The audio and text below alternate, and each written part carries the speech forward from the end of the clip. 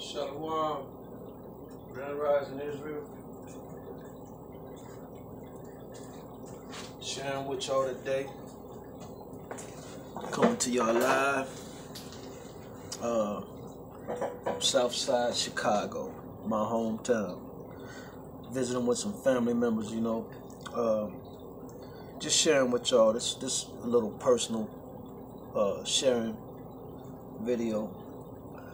You know, when I was in this world, and to clarify for some of y'all new viewers, when you hear us Israelite brothers talking about the world and coming out of the world, coming out of the world is uh, an understanding of not believing the lies that's been generation, generationally taught to us over generations and repeating them.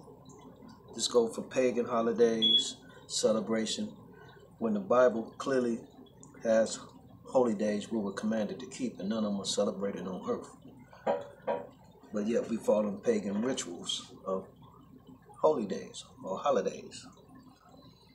But uh, when I was in this world, being from Chicago and uh, by by way of uh, East Oakland, California, that's my second home, and now Houston, Texas, uh, the Woodlands area.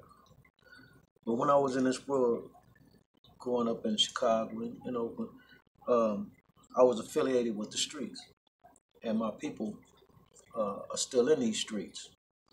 So while while I'm here, I get a chance to chop it up with them, and I'm loving it, the, the power of the Most High. Like uh, a lot of my friends had questions because they see the stuff that I'm posting on social media, knowing about uh, excuse me, knowing about uh, how we were brought up, you know, under the uh, curses of Deuteronomy, them not understanding it, but me knowing now that under the curses of Deuteronomy, how we lived and functioned in this world, being below the uh, heathen as we were sent into captivity under. So this time I'm in Chicago, it's amazing because my my like I said, my peers, my day ones, we finally sitting down, chopping it up, having a beer and talking. And uh I get to, you know, I can't help it but tell them and inform them of certain things that's going on in this world and that's in the Bible. Like, yeah, yeah. So long story short, man. Sitting back and chopping up with my boy Buck. You know, we, we when we was in this world, you know, CVL affiliated, Southside Chicago. So we do a little uh chopping it up, telling war stories and everything. So I bring up, you know, this this truth and relating it to how we lived and the stories that we sharing right now and everything. And my, my guy, his name Buck, he's sitting back and he says to me, Man, man, that's deep, man. I'm a, you keep telling me these stories, man, and I'm like, I can't believe this stuff. He said, Man, I'm gonna have to get me one of them books. And he said it like three times, and I'm like, What you talking about? One of these books, Buck? Buck, this uh that's the Bible. Yeah, yeah, but uh, that ain't no Bible I ever heard of. And I was, I'm amazed, man, because this is how genuine this awakening is, you know. I said, bro, if you go upstairs right now and uh, cousin Tammy, that, that Bible, that's the same Bible. and he was like, no, man, I ain't never heard none of that, man. I was like, I said, Buck, this the thing. We've been following religion. That's what Jeremiah 23 talks about that he's going to pay a special visitation upon the, the uh, pastors who misled his sheep.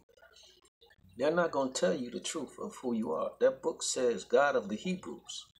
All through the book it says Israel, God of Israel. That's you. I said, Your church will not tell you none of this. I said, Now, if you can't take this, what we sitting here and pondering on, and next time you attend church or, or come across a, a pastor, because they all through our neighborhoods, we run into them in the liquor store. You know what I'm saying? Buying, paying, playing lottery tickets, you know, at the eateries, etc. I said, you approach him and you ask him, who are there 12 gates and pillars to heaven? Is it true that there's 12 tribes of Israel? Is it true that the largest pyramids and oldest pyramids on the planet are in Mexico? Is it true that the native Indians' burial grounds consisted of Hebrew writings? Is it true that they know who we are? Is it true that God has a chosen people? If they can't answer any of these questions without juggling a direct answer, who is Esau? Who is Jacob? These pastors have no shame. And if you don't come out of these churches, they're, they're sacrificing your soul. You're going to go, you're slated to go where they're going. They want company. Misery likes company.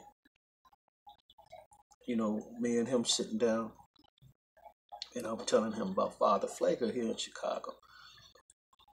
How, mm, excuse me,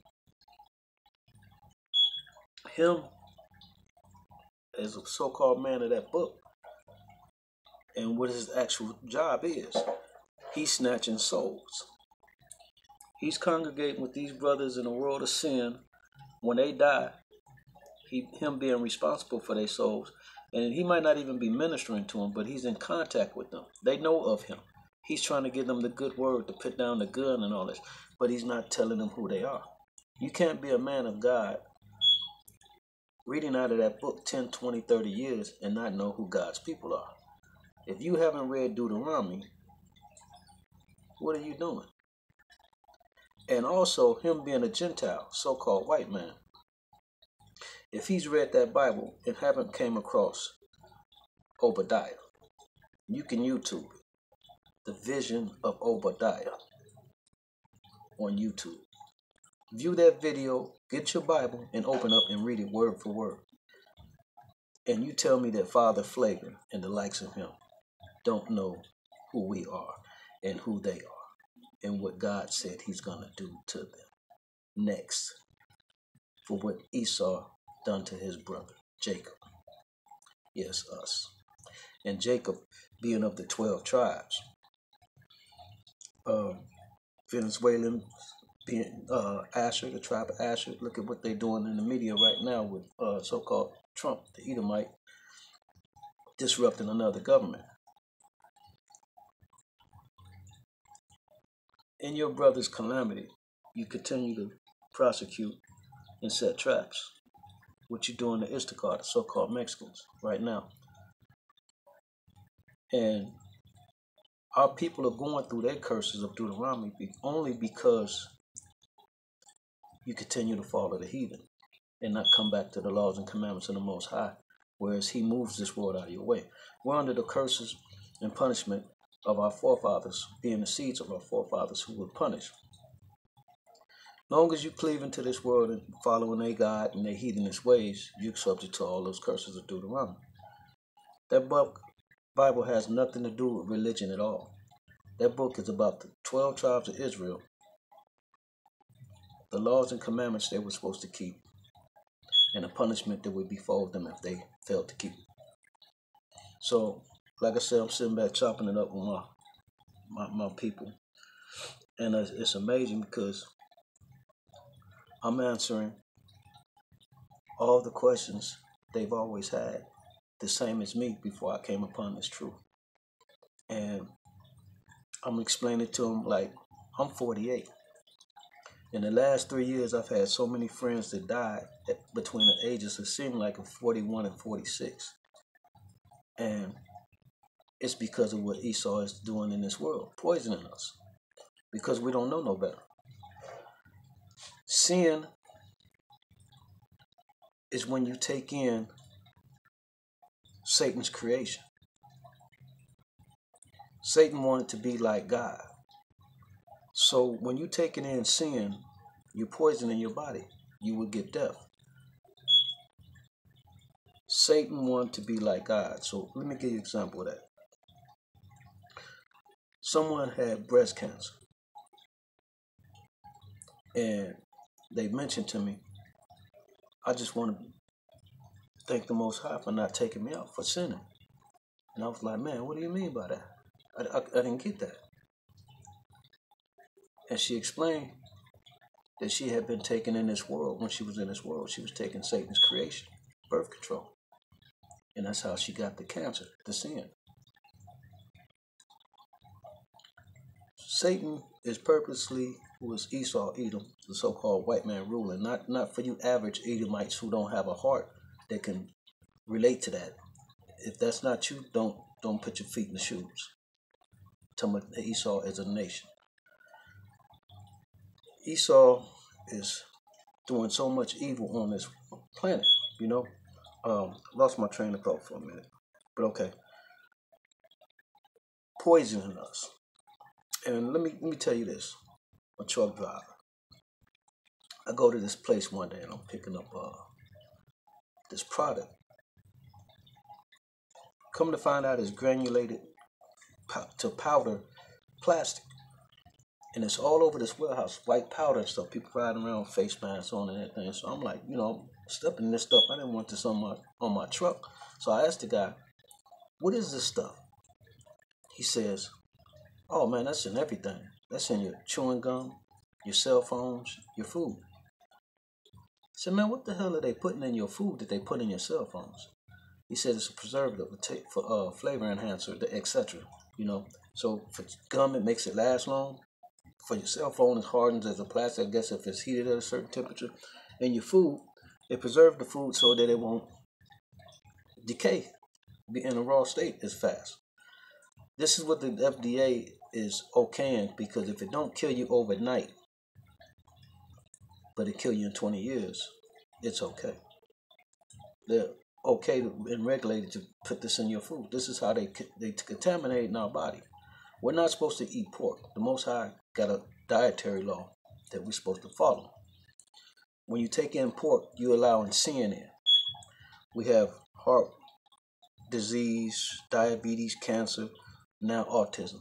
All this is because you're taking in sin, Satan's creation, man made creation. We're not supposed to eat watermelons without seeds. Every fruit has seeds. That's God's creation. When you're taking in fruit that's genetically produced that don't have seeds, you can get cancer from it. These are all created by man, Esau, Edom. This is why the Most High said he hated Esau, because he sees this evil on this planet. And if you read Obadiah, you see the destruction that's come to him and why he said so. But anyway, I'm chopping it up with my buddy and telling him about this, you know, because like I said, I had a lot of friends died in their 40s. And I, I'm just now realizing why. Because over the years, we've been consuming all this fast food. They poisoning us. And, you know, they make the food convenient. $5 meals, you know what I'm saying, ready, fries, and a pop and everything over years of consuming this stuff is killing you. It's process of elimination. You know, this is this is what they doing. You know, you can't enter the kingdom with pork in your system. Well, they genetically altered pork into a dye. I think it's red 15 or C15, something like that. If you look on the back of a product, if it's got something of red candy with that coated on there, you Google that, it's pork. They put it in Benadryl. They put in pork in Benadryl. You could got red dye anywhere from a pig, besides a pig. They're contaminating us. This is what Satan does. So, like I said, I'm sitting back chopping it up with my buddy, man, and explaining all this stuff to him. He, and when he said that about he has to get one of those books and everything, I'm like, dude, you know, watch watch a couple of videos from these brothers at GOCC and open your Bible see it for yourself, you know. And we get caught up in the world with understanding of what this awakening is because the media wants to put their attention on groups like ISP UK, uh, IUIC, uh, brothers with an aggressive message of being of the waking of Israel. You know, they want to put it on there so that the world, because this worldly understanding of division want to make it seem like it's a black thing when Israel is all brown and black nations of this planet, excluding the Hamites, who are the Africans, which all 12 tribes of Israel, brown and black nations, are Shemites. Look into the three sons of Noah, Japheth, Ham, and Shem. And Japhetic people originally also being uh, melanated. All three sons of Noah were melanated, but Japheth was originally melanated. Now they're not, who are the so-called Japanese Japhetic people. Uh, and you also have some Caucasian uh, or pale skin uh, people of Japhetic, which are not Esau. But that's nevertheless, um, like I said, I'm not a teacher or a preacher. If you want more information on that, look into GOCC. They got a lot of study. Uh, all this is Bible truth. No man-made doctrine that they're sharing and they're showing and proving all things. But nevertheless, the media want to use those brothers of uh, ISUPK and brothers like that to show the more aggressive of our brothers waking, which, okay, if you're in this world and that's how you want to look at it, are you excluding what these brothers have been through in this world? They got them in their feelings like that. What started all this? Can you show us anywhere in history where a nation of Shemites or Hispanics or so-called black African Americans who we know now as Judah, a nation of those, any of those nationalities of the 12 tribes have just eradicated a nation of people or attempted to exterminate a nation of people how, how, how, you, how you weigh that? You want to weigh hate? You want to weigh hate? So get out of your feelings with that. Come out of the world. Come into the truth. So this visit of mine has been really, really, really all praise to the Most High. I'm enjoying it. I'm not making no money right now because if my wheels ain't turning, I ain't earning. But I don't mind. All praise to the Most High because I'm seeing the greater reward in his works because I'm able to touch my brothers who've been watching me on social media for almost three years now, do a total 360 and not understand what's going on. They thinking I'm on some religious sabbatical. And when I'm explaining now, because I got the time, when they seeing and hearing it in the real, everything making sense. I'm able to reach out to my people. The most high allowed this, man. It ain't no money that I'm missing right now. Uh, can can sway me to miss it at all. I'm loving this. I'm sitting down here in the basement. That's what I love about Chicago. That basement atmosphere. You know. And uh I'll be leaving here, I'll be heading uh somewhere down south and hopefully see my family over there in Arizona and Phoenix. And uh might hit the West Coast. I'll do another video out there from Oakland. I did a couple of when I was out there visiting my cousin over there. And uh yeah, I'm loving this, man. It's awakening. Like I say, all things make sense now. Everything is explained. It's just it's just beautiful. Yes. So uh, you know, going back into some more storytelling, telling war stories with my boy Buck. Uh that's that's him calling out. Hold on one second. Hold on one second. Okay. I'm gonna call him back. I'm almost done. But uh, yeah, this this time home, going into the stories though, you know what I'm saying, and uh, like I'm explaining to him, you know, Deuteronomy, and talking about the curses and how we going through. Okay, giving examples of God's power and what He's doing long as you've lost in this world and still following the heathen, you're subject to all these curses. Don't matter who you are, the innocent of our people, those even doing wrong or willingly falling the heathen or innocently of this world, long as you don't know who your God is, you're subject to all the curses. So I was giving an example of the signs of his power. And I was telling him about how the shooting in Vegas, that's displaying what he doing to Esau Edom. He said he would have them turn on themselves.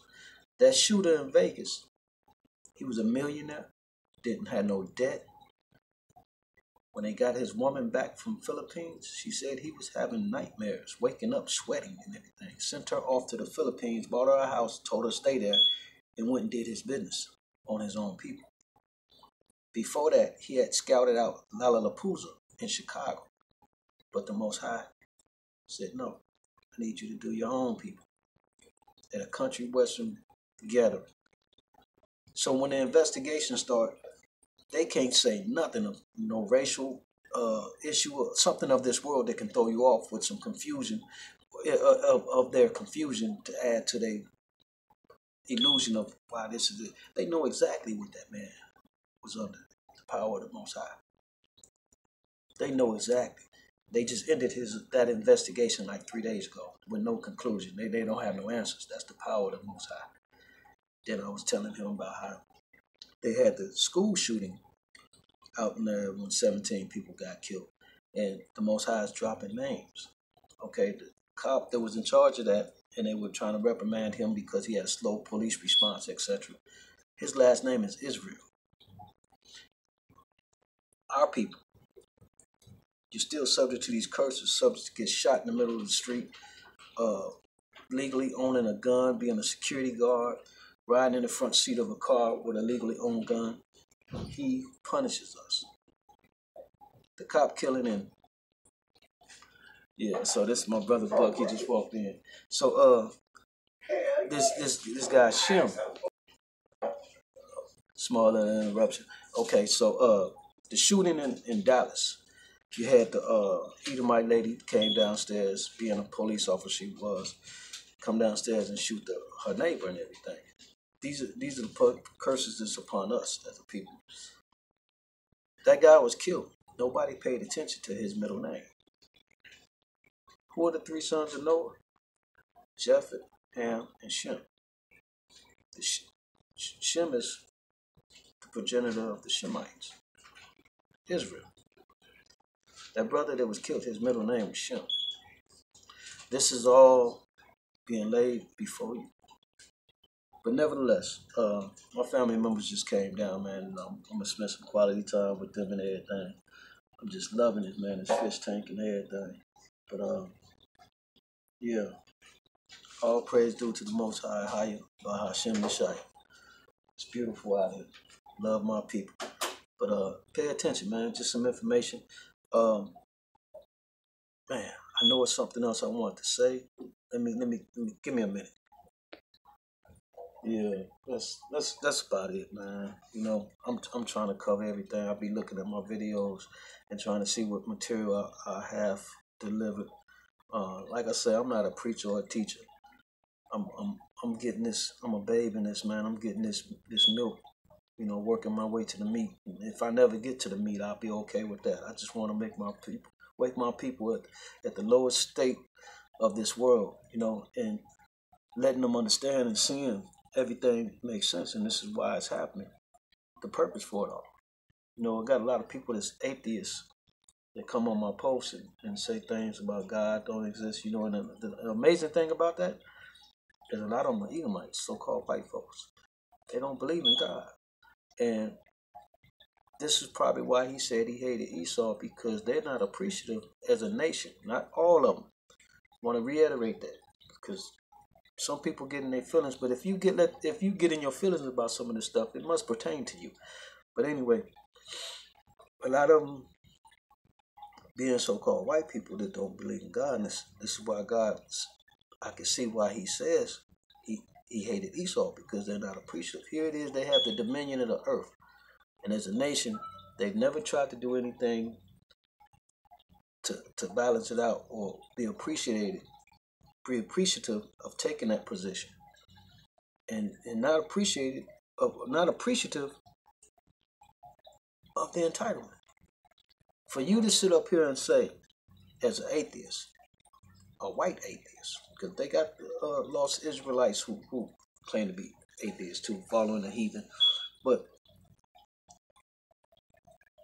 you're not appreciative of nothing because you're not subject to getting shot as a people as a nation, just minding your business. But you say there's no God.